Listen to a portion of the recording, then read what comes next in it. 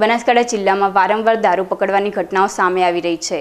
ત્યારે જિલ્લામાં આવેલ સરહદી વિસ્તારોમાંથી અવનવા કરતબો અપનાવી દારૂને સંતાડી સરહદી વિસ્તારોમાંથી ગુજરાતમાં ઘુસાડવામાં આવે છે.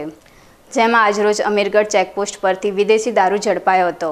રાજસ્થાનથી ગુજરાત તરફ આવી રહેલી એક ટ્રકને અમીરગઢ ચેકપોસ્ટ પર રોકવામાં આવ્યો હતો અને આ ટ્રકની તપાસ કરવામાં આવતા ટ્રકમાં ચૂનાના કટ્ટા સાથે વિદેશી દારૂ સંતાડેલો મળી આવ્યો હતો.